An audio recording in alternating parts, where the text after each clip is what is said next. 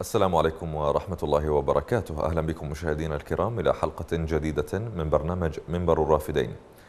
منذ الاحتلال الأمريكي للعراق في عام 2003 يعاني سكان مناطق حزام بغداد من انتهاكات مستمرة يتعرضون لها تحت ذرائع وحجج واهية حيث سخرت حكومات ما بعد الاحتلال الأمريكي آلاتها الإعلامية للنيل من المناطق المحيطة بالعاصمة. وتلفيق التهم لها لجعلها المبرر الكافي كي تضرب هذه المناطق بوسائلها المختلفة الحكومية والميليشياوية. واليوم وبعد مرور 16 عاما على الاحتلال الأمريكي للعراق لا يزال سكان هذه المناطق يعانون من التهجير والإعتقالات والانتهاكات التي لم تستثني منهم أحد. حيث أعلنت حكومة بغداد عملية عسكرية تحت مسمى إرادة النصر على قضاء الطارمية شمالية بغداد. الهدف المعلن منها كما أطلقت عليه قيادة العمليات هو تطهير المنطقة من خلايا تنظيم الدولة. لكن مراقبين ومتابعين للشأن العراقي يرون أن الهدف الحقيقي لهذه العمليات هو تطهير طائفي وتغيير للتركيبة السكانية لهذه المناطق كي تكون درع حكومة بغداد وميليشياتها. مشاهدينا العنوان سيكون لهذه الحلقة استهداف مناطق حزام بغداد بدوافع طائفية كما يقول الكثيرون. بإمكانكم أن تتواصلوا معنا من خلال أرقامنا التي ستظهر أسفل الشاشة أمام حضراتكم بعد قليل وأيضا من خلال خدمة الواتساب التي تقدمها قناة الرافدين التي تتيح لكم أن ترسلوا رسائلكم النصية. فاصل ونعود.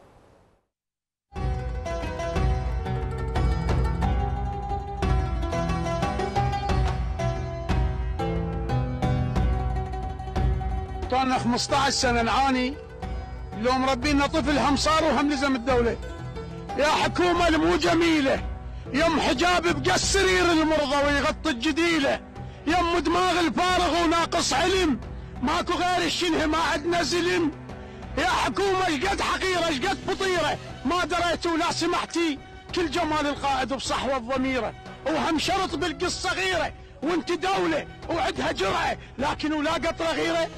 يا حكومة المهزل الشعب بيك ابتلى وبطلك للنستلة عمي يا نستلة! أنتوا والويات كلكم أغبياء!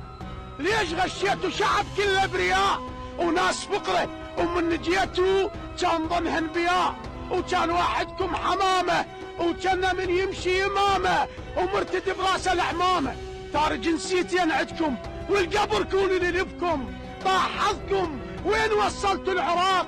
وين ياكلكم نفاق؟ هاي بيريتي بعدهي وعنده موجود النطاق ومن نقوم تصير ثورة وثورة الجوعان خطرة العامل من يضيع صبره والفلح عندها مناجل وتنتخب زود السنابل وهي خضرة وهي صفرة وأنتم بالخضراء بعدكم راح أجيكم أنا وأصحاب المناجل وراح أحشكم من جذركم وتنترس منكم مزابل يا مزابل.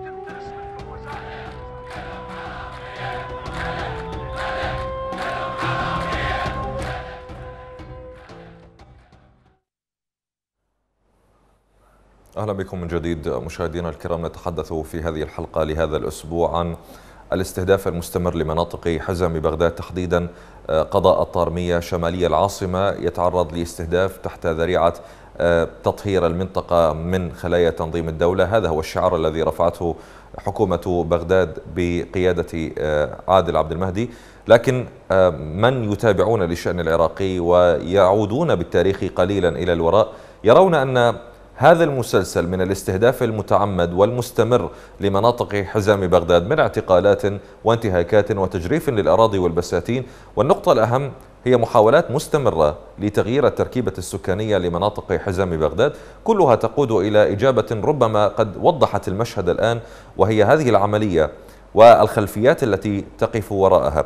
طبعا بهذا الصدد هيئة علماء المسلمين في العراق أصدرت بيانا طبعا لوصف أو التحدث عن هذا الحدث الذي يحصل الآن في منطقة الطارمية شمالية بغداد. قالت هيئة علماء المسلمين أن الحكومة وميليشياتها الإجرامية ما زالت تتبنى النهج الطائفي في استهداف المدن ومحافظات عراقية معينة والتنكيل بأهلها بارتكاب أبشع الجرائم بحقهم. أفادت الهيئة في بيان لها أن الجيش الحكومي والميليشيات الطائفية فرضا حصارا خانقا وحظرا للتجوال في قضاء الطارمية بعدما أغلقت أو أغلقت جميع المدافل المنافذ والدخول والخروج إلى القضاء من وإلى القضاء طبعا وإعلان عملية عسكرية بدعم من قوات التحالف الدولي. هذه العملية تستهدف المناطق المحيطة بالقضاء بعد حملة التهديدات الطائفية التي أطلقتها آه، أو أطلقها زعماء الميليشيات بحق أبناء القضاء. أكدت الهيئة أن هذه الهمجية والانتهاكات التي تستهدف الشعب العراقي ليست بغريبة عن هذه الجهات التي ارتكبت في تلك المناطق هذه الانتهاكات ومناطق أخرى. وما زالت مآسيها مستمرة حتى هذه اللحظة مستشهدة بما حصل في قضاء جرف الصخر في محافظة بابل من تهجير لسكانها. السيد مبروك من الإمارات آه، أول المشاركين معنا في خدمة الواتساب. آه، يقول تحية لك أخي محمد ولصوت الحق والحقيقة الناطق بلسان معاناة العراقيين الأحرار. الأزمات استفحلت بالعراق في ظل حكومات تابعة لجارة السوء إيران. لم توفر وظائف وتعليم وصحة وغذاء ومياه وكهرباء. أزمات التغيير الديمغرافي في مناطق حزام بغداد هي مخطط من قبل الحكومات والميليشيات المجرمة كلها تأتي بدوافع طائفية. الثورة هي حل الخلاص من الأحزاب الفاسدة لإيجاد الوطنيين الشرفاء لحكم العراق. معنا السيد أبو محمد من الطارمية أبو محمد تفضل. السلام عليكم. وعليكم السلام ورحمة الله وبركاته. شلونك أخوي العزيز؟ حياك الله أبو محمد. تفضل أهلا وسهلا. إحنا على مود شغلت الطارميه وأطراف بغداد. قالوا تحررت من داعش وصفت وما ظل بها شيء مو صحيح؟ نعم. هاي المداهمات هسه هاي المداهمات الجاي تصير. جاي يداهمون وجاي يعتقلون بالناس الابرياء لشنو؟ هو؟ ويقولون صفت هسه ما ظل داعش؟ نعم. مو صحيح؟ وهذا كان هذا كان تصريح من حيدر العبادي رئيس الوزراء السابق الذي أعلن النصر كما سماه على تنظيم الدولة وانتهت الحرب مع آه، تنظيم الدولة وكذلك أعلنت الولايات المتحدة هذا الإعلان. اذا ما الذي نشاهده الآن برأيك؟ نشاهد هسه اعتقالات مداهمات وعالم أبرياء جاي يأخذونها ويطلعون وش جاي يصير هسه هسه جاي يصير من مشاكل ومن ومن ومن اللي اللي جاي يصير هو كله سبب الحكومة أنا لحد الآن أقول لك داعش ماكو داعش ماكو جاي يشتغلون بالناس الأبرياء يعني الشايب شايب يمشي على عكازة يعتقلونه ويروحون على شنو هو؟ على شنو هو؟ حضرتك الآن متواجد في الطارميه أبو محمد؟ اي نعم أنا بالطارمية. طيب. أنا من أهل الطارمية. نعم. حضرتك من الطارمية. القصد أنه ما الوضع الآن بالنسبة لكم كمدنيين الآن متواجدين في مدينة آه، أعلنت عليها الحرب؟ والله يا أستاذ العزيز مدينة طافيه كل شيء ما بيها فاجوها إجوها. وإجوها الجيش. إجوها العصايب. يعني لعبوا ما لعبوا. كسروا. سرقوا.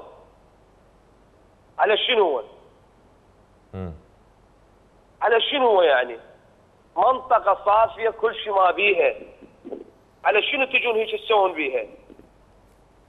عمي خلي يتركونا خلي يتركونا. والله العظيم والله العظيم. منطقة حاليا صافية كل شيء ما بيها لا داعش ولا شيء. على شنو يعني هاي تطلعون مداهمات ويا الطارمية ويا الطارمية ويا الطارمية عمي والله كل شيء ما بيه طيب قبل قبل أحداث تنظيم الدولة أبو محمد يعني حتى نقول إنه ماكو مبرر يعني. ل... قبل أحداث تنظيم الدولة وأن يدخل إلى العراق كيف كان وضع الطارمية ومناطق حزام بغداد بشكل عام؟ إحنا كلها تعلم ان داعش كان قبل موجود. كل أطراف يعني احزام بغداد. بس فعلا تحررت وهي سببها منه الحكومة. الحكومة بكيف تجيب داعش تطببه تريد داعش تطلع. لا تقول لي داعش يجي بكيفه. يعني احزام بغداد احزام بغداد منظومه بالأبراج. يعني داعش من يفوت بالسيارة مالته بين الأبراج. ما يشوفونه؟ نعم. أشكرك أبو محمد إيه. كنت معنا من الطارمية. شكرا للمشاركة. طبعا نقطة مهمة وهي ال- التصريحات المستمرة من قيادات العمليات سواء في عهد عادل عبد المهدي أو حيدر العبادي أو المالكي. يتحدثون دائما عن أجهزة الاستخبارات التي استطاعت أن تصل إلى معلومات تفيد أن هناك عملية ست- ستقام هنا أو هناك. رغم التفجيرات والمآسي والكوارث التي حلت بالعراق والتي أثبتت أن هناك جهاز أمني هش ومنهار في العراق مع ذلك نحن نستمع إلى التصريحات الحكومية التي تتحدث دائما عن وجود عمليات استباقية بين حين والآخر للقضاء على خلايا تنظيم الدولة أو العناصر أو وخلافه. طبعا منذ انطلاق العمليات العسكرية. كيف يفسر إذن هذا الموضوع؟ وكما قال أبو محمد هناك آه، انتشار كثيف للقوات الحكومية ولميليشيا العصائب في منطقة الطارمية وفي مناطق أخرى.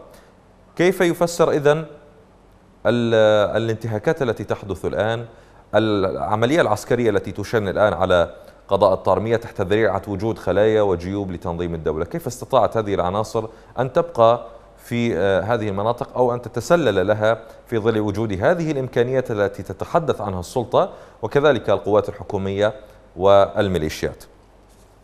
معنا السيدة أم زيد تفضلي. السلام عليكم. وعليكم السلام ورحمة الله وبركاته.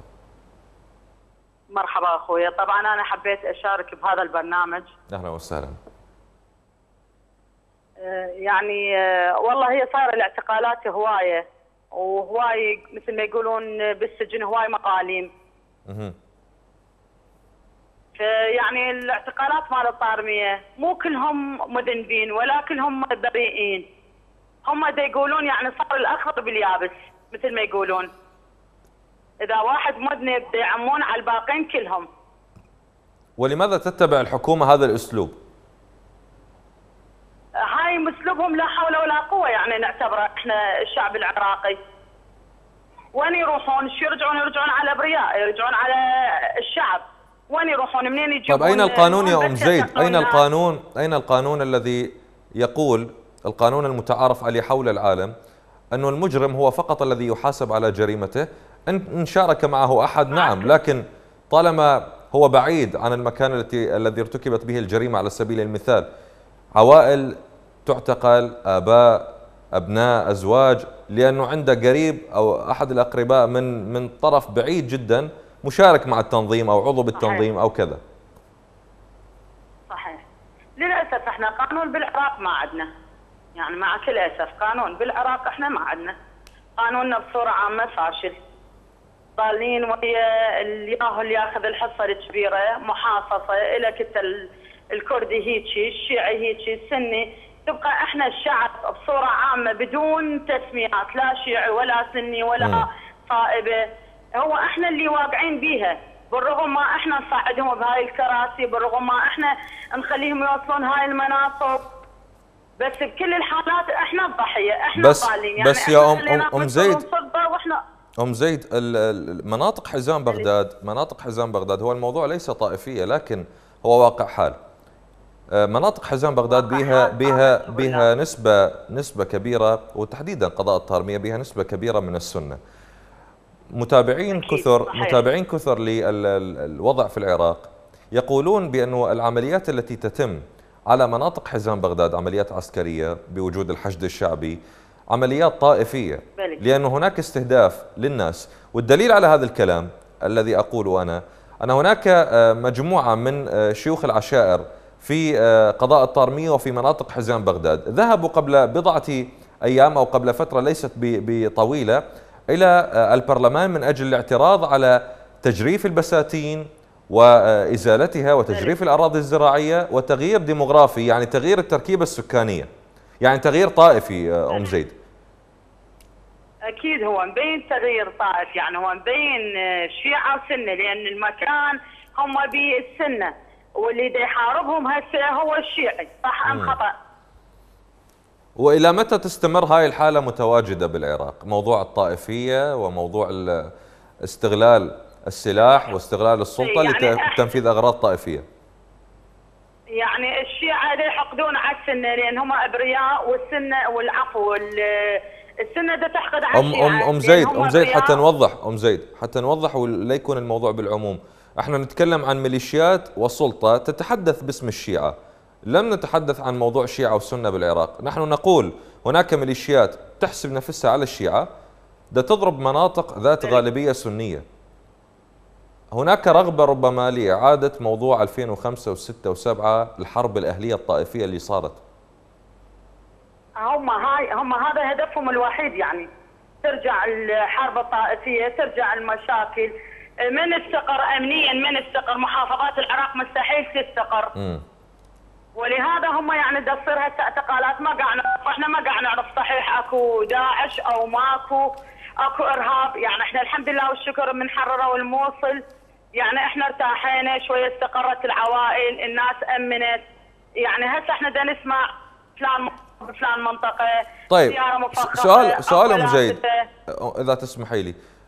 كلام سليم. يعني أخوي. الحكومة حكومة حيدر العبادي وقتها ظهر على وسائل الإعلام يتفاخر فرحان استعراض عسكري وقال بانه انتصرنا على داعش وانتهت الحرب في العراق. وأعلنت الولايات المتحدة صحيح. انتهاء الحرب على داعش في العراق. طيب شنو اللي نشوفه الآن الآن؟ الآن تقول ال- ال- الحكومة بأن هناك عناصر لتنظيم الدولة موجودين بالطارمية. شلون بقوا ذول العناصر؟ مين اجوا؟ كيف دخلوا إلى هذه المنطقة إذا فعلا موجودين؟ لعد وين إعلان النصر؟ وين التحرير؟ وين هذا الكلام؟ يا ريت هم يجاوبونا على هذا سؤالك يعني إذا هم أعلنوا وقالوا لنا إحنا انتصرنا وداعش انتهى يا ريت هم يقولوا لنا هسه منين دا يدخل طب داعش؟ برأيك أنت ام زيد شنو التفسير؟ برأيك أنت شنو التفسير؟ والله حسب كلامهم هم يقولون أكو خلايا نائمة أكو أنفاق حسب يعني الأخبار اللي نسمعها حسب التلفزيون حسب البث الإعلامي نعم يعني إحنا مثل ما تقول أنا ربة بيت مو ذاك الاستطلاع القوي حتى لا لا يعني هم سليم حضرتك دا تتفرجين على التلفزيون ودا تشوفين إنه قنوات حكومية تقول أكو عناصر داعش. ونفس القنوات كانت قبل خلايا يقولون. نعم وقبل فتره الخلايا النائمه وقبل فترة قالت نفس القنوات العراق تحرر من داعش. طيب إحنا هسه أنا هسه حضرتك هسه مواطنة بسيطة ومثل ما تفضلتي ما عندك استطلاع واسع. برأيك البسيط المتواضع شنو ممكن أن نفسر هذا الموضوع؟ ماكو غير تفسير واحد. هي الحكومة اللي تدخل هذول الخلايا أو الإرهاب أو مم. هاي ال- ال- المشاكل اللي تصير عندنا يعني. اشكرك ام زيد كنت معنا. نعم تفضلي أسمعك. يا ريت يعني تسمعني تطرح أطرح مشكلتي. تفضلي. أني من أهل بابل. نعم. زوجي كان واقف بالباب صار تقريبا سنة ونص أو أكثر من اعتقلوه نعم. اجت علينا قوات ما أعرف يعني هاي قوات حكومية مدنية اجن بهن أكثر من 10 أو 12 سيارة. امم كان واقف هو ببابنا. والله على أساس هذا يعني ورا ثلاث أشهر إحنا يلا واجهناه لقيناه ضاربي طبعا مأذينة كاسرين إيده كاسرين فتشه كانوا معتقليه يعني بمطار المثنى. امم إي من رحنا واجهنا يابا على شنو؟ كان يقولون على مود شغله حبوب هو أصلا كان واقف مالتنا لا عنده حبوب لا شيء. مم. جت قلت لك سيارات مدنية فهو انهزم ظلوا هم يركضون وراه اعتقلوه سألنا عندنا يعني مثل ما تقول عندنا علاقات سألنا بالحله أكو هيك سجين هيك اسمه هيك شيء فقالوا لنا ما موجود. ورا ثلاث اشهر إجانا اتصال هو موجود بمطار مثنى ببغداد رحنا سألنا على شنو أخذوك؟ لأن يقول أخذوني وبصموني على ورقه على أساس أنا تاجر حبوب. بصموه على ورقة. بلي قال عذبوني كسروا إيدي كسروا حلقي تعذيب بالكهرباء يعني أنواع أنواع التعذيب إلى أسولف لك. ما تصدق راح على الطبابه بلحظتها ورا ما خلصوا من عنده تحقيق.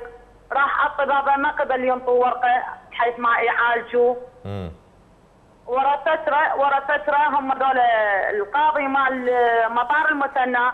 حتى هو قايل له قايل له بابا إحنا هذا المكان أو هذا السجن أو هاي ال- الجهة المعنية إحنا نخلي بيها شلون تقول إرهاب. وأنت كاتبي لك بالدعوة شغلة حبوب أنت شلون إجيت لهذا المكان؟ شلون انسجنت هنا. واجهناه مرتين بمطار المثنى وبعدين سفروه على تسفيرات آه، ملعب الشعب. وحاليا هو موجود بالكاظمية سجين. آه، حكموه طبعا 30 سنة. وصعدوه تمييز نزلوه بس أربع سنوات صار حكمه 26 سنة. على جريمة هو ما ارتكبها. صح. هو ما ارتكبها. يقولون على أساس مخبر سري. هو اللي جاي مبلغ. هو أحلف لك ب 100 إمام يعني هو كان واقف بالباب وأنا زوجته وأطفالي عندي أربعة.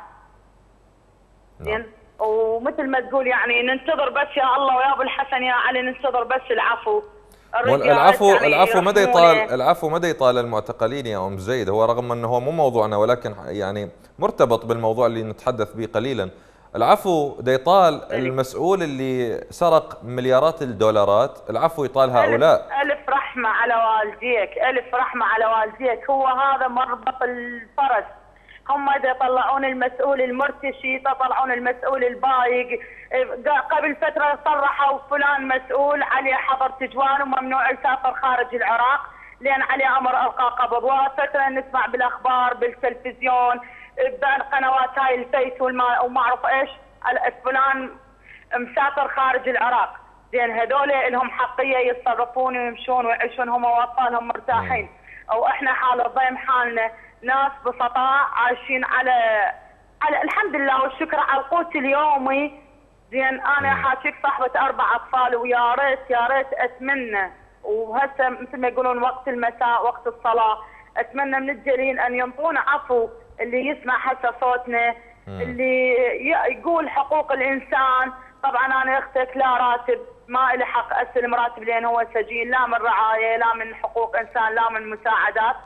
بس أقول يا ريت يا ريت يطبقون القانون مال العفو مالتهم ويا ريت ينقذونه حتى إذا لو فرض ما إنسان خطأ إنسان سوى ذنب اللي مثل مثل يقولون اللي اندمج ولا- ويا خلايا داعش أو اللي تاجر أو غير شيء أو اللي سرق. مثل ما يقولون عفى الله. الله هو خير المحسنين وغير هو الغفور الرحيم. بعد ماكو أحسن من عنده. ونعم بالله. يوقفون يفتحون لنا هاي الس- السجون يعني مكتبه أسولف لك معاناتنا. أم زيد أشكرك أنا أعتذر منك طبعا. الوقت الوقت آه، يعني ضيق ولدينا متصلين ينتظرون. أخويا مشكور شكرا أخويا، لك شكرا لك يا. أم زيد. شكرا للمشاركة. أه، أتمنى أن الرسالة تكون وصلت والصوت صوت أم زيد وصل كذلك إلى من يهمه الأمر. واستمعتم إلى حديثها وكذلك وما هو متعارف عليه في العراق العفو العام لا يصدر للفقراء لا يصدر للمظلومين وهذا أمر متعارف عليه لا يحتاج إلى حديث مني أو أي شخص في العراق يعلم أن العفو العام يصدر لفئة معينة أو شريحة معينة من أشخاص محسوبين على الدولة بشكل أو بآخر. السيد حسين من بغداد تفضل. السلام عليكم وعليكم السلام ورحمة الله وبركاته. حياك الله حسين أهلا وسهلا. أنا خالي صار لي سنتين بس يوم. ألو؟ أسمعك حس- حسين اليوم نعم أنا فاهم فاهم ال- المشكلة الكبيرة في موضوع المعتقلين. آه، اليوم الموضوع هو عن آه، الاقتحامات التي تتم لقضاء الطارمية والانتهاكات كذلك. مع هذا أهلا وسهلا بك تفضل بس باختصار رجاء آه، أطرح موضوعك. أنا سنتين بس يوم مهم. ألو؟ نعم أسمعك حسين. حسين أسمعك. سيد حسين من بغداد. فقدنا اتصال مع السيد حسين من بغداد. نذكر مشاهدينا الكرام. نعم هناك آه، قضية كبيرة ومهمة للغاية وهي قضية المعتقلين وملف المعتقلين ملف شائك للغاية في العراق وملف يحتاج ربما إلى تدخل يعني من منظمات حقوق الإنسان من المجتمع الدولي في القضية الإنسانية تحديدا خاصة بعد اعتراف المجتمع الدولي بفساد القضاء في العراق. يعني كان من المفترض أن يكون هناك تدخل من البداية بعد هذا الاعتراف لكن مع هذا نطالب بهذا الأمر لأنه الوضع في في معتقلات وسجون العراق أصبح آه، ميؤوسا منه والموضوع أصبح في تفاقم مستمر. وهذه الحالات التي تسمعونها الآن هي جزء بسيط. الارتباط بهذا موضوع الاعتقالات بما نطرحه اليوم هو فعلا هناك أيضا كذلك اعتقالات حملات اعتقال مستمرة منذ الاحتلال وحتى هذه اللحظة لسكان مناطق حزام بغداد بشكل عام. المناطق التي تتعرض للانتهاكات المناطق التي وصمت بوصمة الإرهاب طبعا عن طريق أجهزة ووسائل إعلام ومروجين لهذه الأفكار ولهذه الشعارات التي أطلقت على هذه المناطق.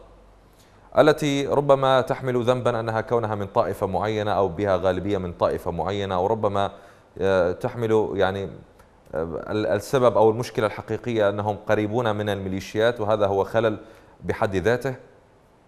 يستمرون بمعاناتهم بالانتهاكات التي يتعرضون لها طبعا وبدون أي تدخل حكومي. بالعكس ما نراه الآن هو تعاون حكومي بين آه، السلطة وبين الميليشيات كذلك بغطاء دوليا بقيادة الولايات المتحدة ولا يمكن أن نفهم كيف هذه الآلية آه، تحدث. مع ذلك هي تحدث الآن في العراق وهي أمر واقع.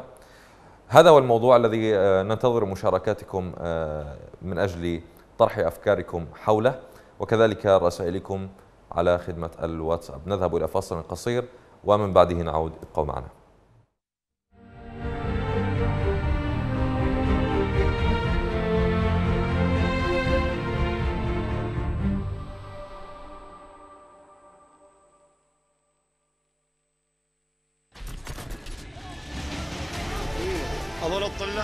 يعبرون شلون؟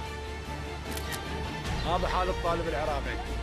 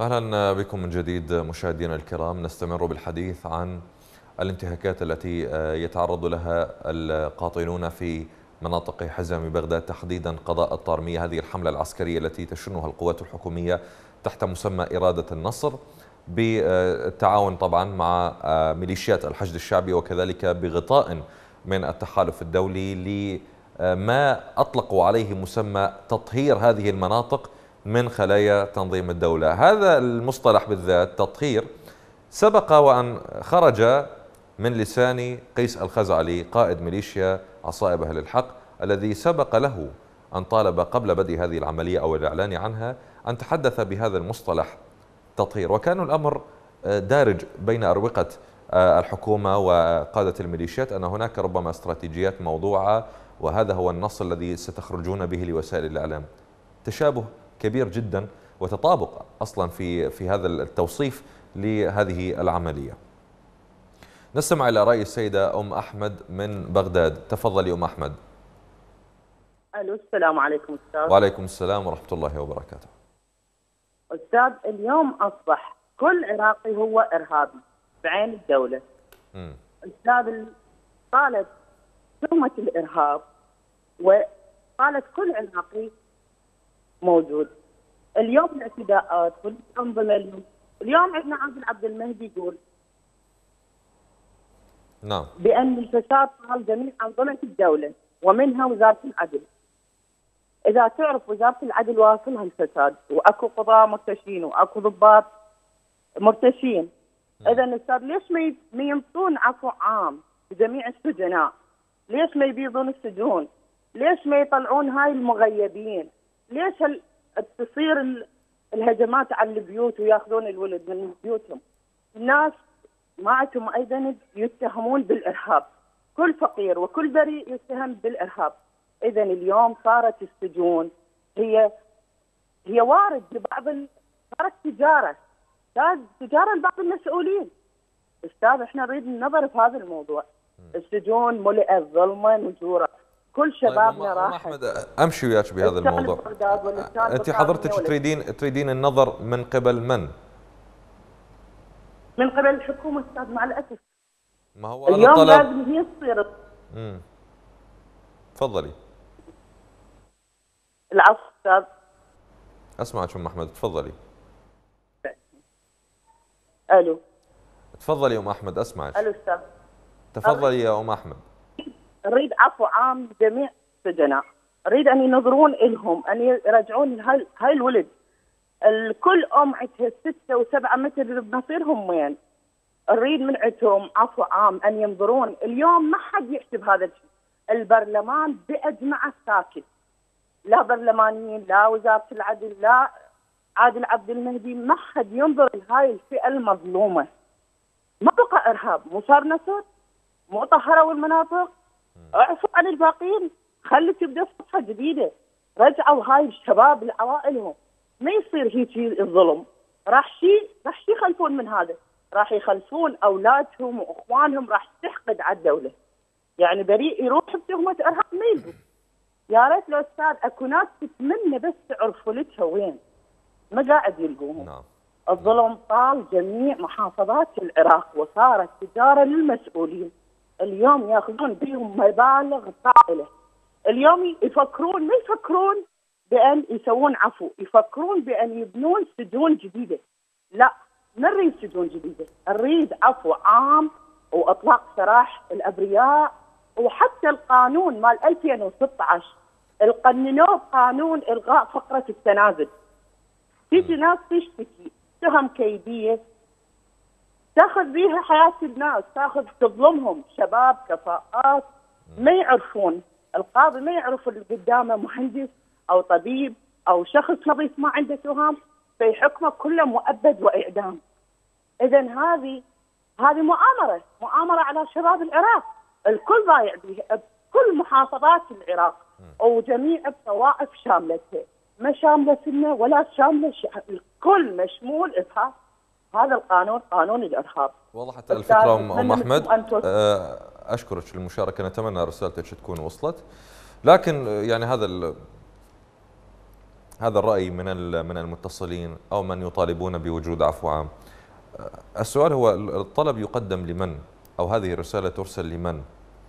لم يكن هناك تحركا سابقا وحتى هذه اللحظة تستمر ال- المعتقلات باحتضان الكثير من ال- المعتقلين. الأبرياء نعم كل كل سجن وكل معتقل فيه مذنبون نعم لكن نسبة الأبرياء هي نسبة أكبر بذلك بكثير نظرا لوجود نظام هش وفاسد. آه، أتاح لوجود شيء يسمى مخبر سري ولتهم كيدية ولتعذيب من أجل الاعتراف بالقوة. هذا الموضوع. معنا صفاء بغداد. تفضل يا صفاء. السلام عليكم. وعليكم السلام ورحمة الله وبركاته. السلام عليك وعلى الكادر وعلى المشاهدين كلهم. حياك الله. وأنا ممنون لكم. أهلا وسهلا. تفضل. حبيبي إقرار قانون العفو العام ما يصير. ليش؟ لأن الكل مستفادة. أنا ساحكي وياك رجال فقير قاعد بالبيت. ما أقول لك ما بي حيل وما أقدر أشتغل وهذا. على هالوضعية هاي كل شيء ماكو. بس عندي استعداد أأجر سجون العراق. أنا شخصيا أأجر سجون العراق ها مئة ألف دولار شهريا. يعني كل شهر أنطي عشر دفاتر. نعم. زين أخويا؟ خلي الكل تسمعها. كل سجن أقل سجن إيجار الحانوت ماله ما يقل عن دفتر دفتر ونص بالشهر المدير السجن. مدير السجن شنطي تقارير. للوزير.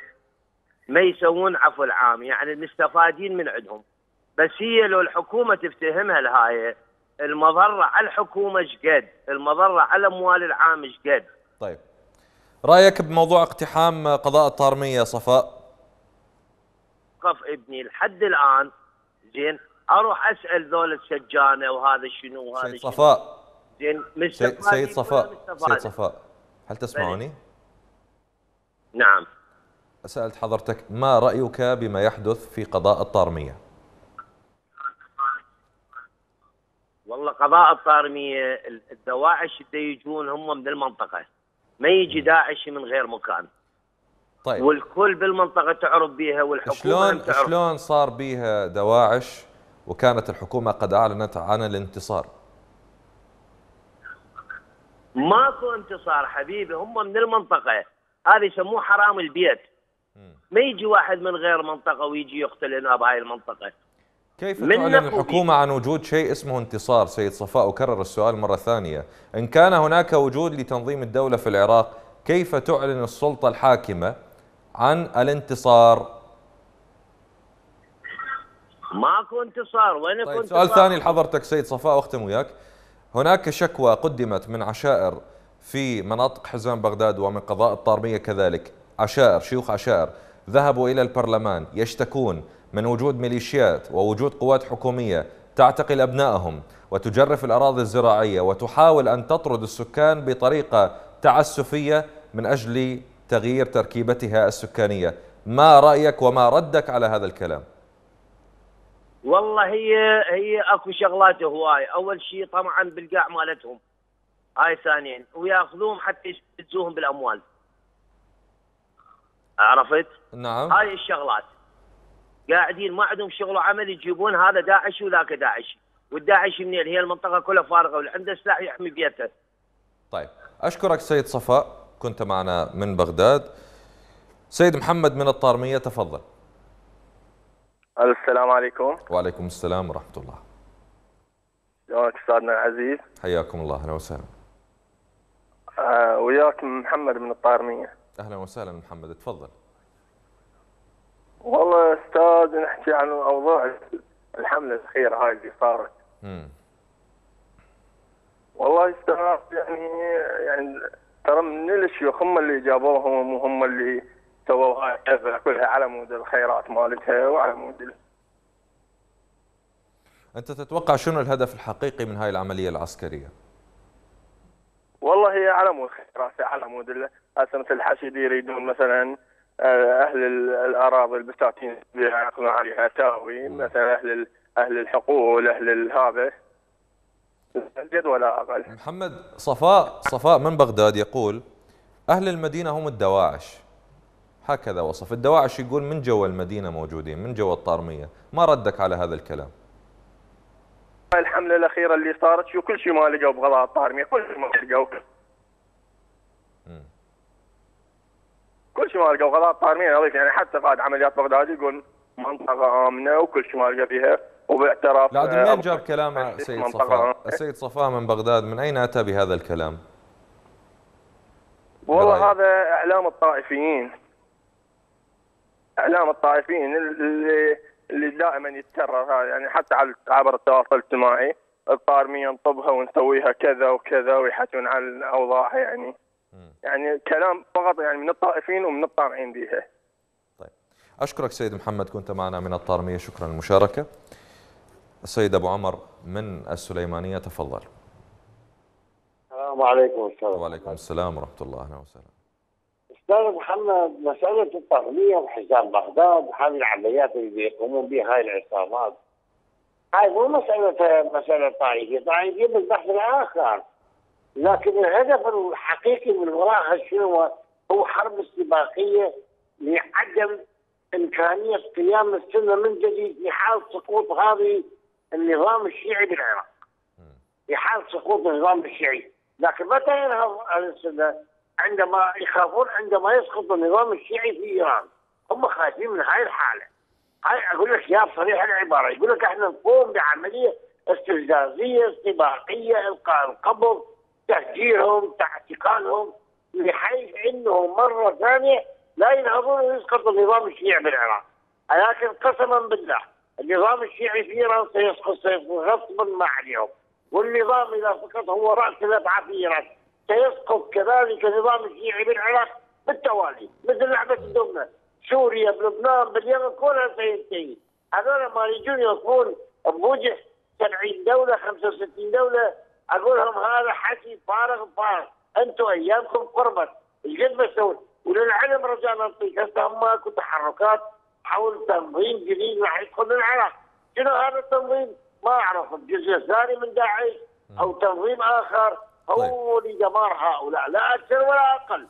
هذا إحنا ما من ضمن تعدنا في السبيل هذه الطرميه لا عدم داعش ولا عدم قاعدة ولا هم يحسنون هذا هو الآخر. يريدون ينقذون النظام الشيعي يقول لك إذا سقط ميراث يبقى في العراق.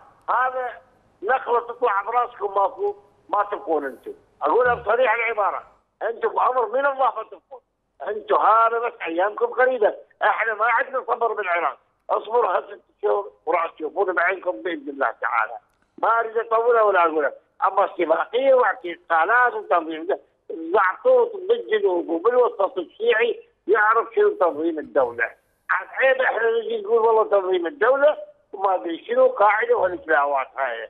هذا المسلسل الجزء الأول انتهى أكو جزء ثاني أنا أعرف أكو جزء ثاني راح يبدا إن شاء الله. أشكرك أبو عمر. شكرا أبو عمر كنت معنا من السليمانيه نذكر مشاهدينا الكرام أن آه، هيئة علماء المسلمين ليست المرة الأولى التي وضحت فيها بتقاريرها وبياناتها حول أحداث آه، تجري أو يجري التخطيط لها في العراق مسبقا طبعا آه، من قبل الحكومة بغض النظر من كانت أو من قبل ميليشيات وبغض النظر من هي. هناك مخططات كانت هيئة علماء المسلمين تحذر منها منذ بدء الاحتلال وحتى هذه اللحظة وتخرج بتقاريرها وبياناتها لتوضيح هذه المسائل وكذلك للاستنكار والشجب المستمر للقضايا التي تحدث من انتهاكات العراقيين بشكل عام. يبقى السؤال هو ما الأسباب التي آه، نرى بها شريحة من المجتمع غير متفاعلة مع هكذا تحذيرات رغم ما تراه الآن من تحققها في كثير من الأحيان؟ ما السبب الذي يمنع الناس من التفاعل من الوقوف ضد آه، هذه الانتهاكات نظرا لوجود آه، متابعين ومراقبين ومن هم فاهمون ب أو يفهمون بالشأن العراقي بشكل دقيق ليستطيعوا أن يروا على الأقل جزء أو لديهم نظرة ربما مستقبلية للأحداث التي آه، قد تجري في العراق بشكل عام. لدينا بعض الرسائل نقرأها لحضراتكم. رسالة من أحد المشاركين لم يكتب من هو يقول حسبنا الله ونعم الوكيل. هذه حرب شاملة ضد أهل السنة. وكذلك رسالة أخرى يقول أحد المشاركين السلام عليكم. هي هاي مشكلة كثير من الأبرياء جالسين خلف القضبان آه، بتهم أنهم أبرياء واللصوص والمجرمين يسرحون يمرحون أمثال المالكي والعبادي والعامري والخزاعي والمهندس وغيرهم. أخوكم أبو عمار من السويد. آه، نعود لنتحدث يعني نقول نقطة مهمة. أنه نعم الموضوع اليوم عن آه، اقتحام قضاء الطارمية وهذه العملية العسكرية التي تعد من أجل آه، كما يقول المتابعون النيل من أهالي هذه المنطقة وكذلك تغيير ديموغرافي واضح آه، له طبعا تبعات وله كذلك خلفيات. نتيجة التصريحات وكذلك الانتهاكات التي استمرت منذ الاحتلال وحتى هذه اللحظة لمناطق حزم بغداد. الموضوع الذي نتحدث به أو الذي آه، تحدث به الكثير من المتصلين هي موضوع المعتقلات والسجون. الربط بين هذين الموضوعين هي قضية الاعتقالات أو حملة الاعتقالات الواسعة التي شنت على كثير من مناطق حزام بغداد وقضاء الطارمية آه، ليس استثناء من هذه الحالة. كثير من الشباب والرجال الذين تم اعتقالهم بلا مذكرات وبلا أوامر قضائية وبلا أوراق رسمية وبطريقة عشوائية هذا الجانب الحكومي. أما بالنسبة لاعتقالات الميليشيات فهي بالعشرات أو ربما بالمئات أو قد تصل في بعض الأحيان إلى أكثر من ذلك نظرا لغياب القانون عن هذه الميليشيات وبالتالي هي تتصرف بكامل حريتها وبمطلقها وبالتالي ليس هناك رادع وليس هناك من يحاسب أو من يقف ضدها. بل هناك بل ليس هنالك كذلك قانون يمنع آه، هذه الميليشيات من القيام بما تقوم به. نعم آه، كان هناك آه، فتوى خرجت من أجل تشكيل الحشد الشعبي. لكن السؤال الآن بعد أن أعلن انتهاء الحرب مع تنظيم الدولة من قبل العبادي ما الذي نراه الآن من الحشد؟ أو ما الذي يفعله الحشد الآن مع القوات الحكومية في قضاء الطارمية؟ خاصة في ظل وجود آه، انتهاكات أثبتت على هذه الميليشيات في كثير من المناطق التي دخلتها بذريعة آه، تحريرها من تنظيم الدولة. فكيف يزج بها إذن في هذه المناطق التي معروف ما هي تركيبتها السكانية ومعروف ما الذي سيجدونه هناك الميليشيات والقوات الحكومية؟ فكيف يدفع بتشكيلات طائفية بامتياز؟ ولا يحتاج الموضوع إلى أن يثبت بدليل؟ لأن هناك إثباتات كثيرة أكدت أن هذه الميليشيات هي ميليشيات عقائدية طائفية. تذهب إلى هذه المناطق بهذه الذريعة وتنتقم من أهلها بهذه الذريعة كذلك. سيد ضياء من كربلاء تفضل. السلام عليكم. وعليكم السلام ورحمة الله وبركاته. السلام عليكم. وعليكم السلام. أنا أنا عندي أخوي معتقل.